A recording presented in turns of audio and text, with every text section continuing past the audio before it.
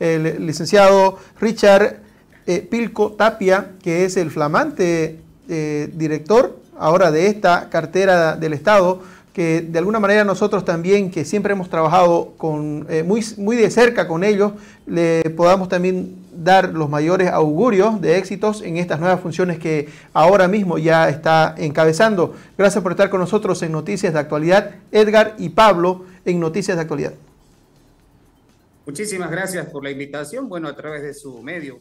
un saludo a todos los trabajadores del departamento de Santa Cruz. Ahora, se ha anunciado que ya, este, por lo menos hasta este fin de eh, mes, se van a llevar eh, adelante hasta el 20 de diciembre el pago del aguinaldo. Quisiera que nos eh, dé algunos detalles con respecto a esta disposición a nivel nacional. Bien, el primero de diciembre se ha emitido lo que es el instructivo número 70, el cual ratifica la vigencia de la normativa en cuanto al aguinaldo de Navidad de la presente gestión, nos establece cuáles van a ser las directrices para hacer efectivo el pago del aguinaldo, a quienes corresponde, la forma del cálculo y el plazo que en todo caso tienen las entidades del sector público y las empresas del sector privado para efectivizar este pago. ¿A quiénes corresponde? Corresponde a todo aquel trabajador o servidor público que en la presente gestión hubiere desempeñado funciones por más de 12 meses o todo el año. Corresponde en todo caso también a aquellos trabajadores y servidores públicos que en la presente gestión hubieran desarrollado más de 90 días eh, funciones al interior de un establecimiento laboral o de una entidad pública. Se les cancelará en todo caso en duodez. El plazo que tienen las empresas, las entidades públicas, es hasta el 20 de diciembre para hacer efectivo la cancelación del aguinaldo de Navidad. El plazo que tienen para presentar a la oficina virtual de trámites del Ministerio de Trabajo las planillas de aguinaldo es hasta el 30 de diciembre. Que el aguinaldo no puede ser fraccionado y no debe pagarse en especie, puesto que la norma lo prohíbe.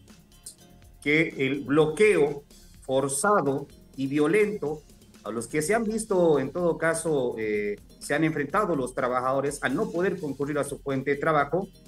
las empresas lamentablemente están utilizando la excusa de la figura de un abandono de trabajo, cuando sabemos perfectamente que los trabajadores e incluso los mismos trabajadores de la prensa se han visto impedidos de poder concurrir de manera normal a sus establecimientos laborales. Recordarles que se encuentra desde el 3 de noviembre, ha entrado en vigencia lo que es la ley 1468 de ley de procedimiento especial para la restitución de derechos laborales, por las cuales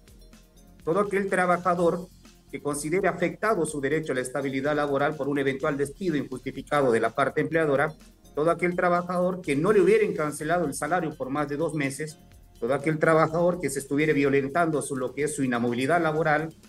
por ser dirigente sindical, puede presentar su denuncia ante las jefaturas departamentales y regionales. Existe un procedimiento especial para la restitución de los derechos que estuvieran siendo vulnerados por estos, bueno, digamos, por, por la parte empleadora en todo caso, con la única finalidad de buscar la desmovilización o la finalización y la ruptura de la relación laboral de los trabajadores.